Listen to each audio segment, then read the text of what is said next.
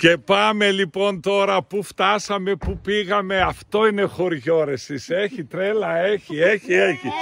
Λοιπόν, φτάσαμε στο βουνό πάνω. Στο βουνό είμαστε εδώ, στο βουνό έχει ένα εκκλησάκι και όλη η τρελοπαρέα της Σαρακίνας, γιατί έχει και τρελοπαρέα η Σαρακίνα, δεν έχει; Μόνο, μόνο. Λοιπόν, φτάσαμε πάνω στο βουνό για να τιμήσουμε τον Αγιάννη τον πρόδρομο που είναι σήμερα. Και είμαι περήφανος γιατί έχω τέτοιους τρελούς σε αυτό το χωριό. Πάμε! Ένα γεια σας! Γεια σας!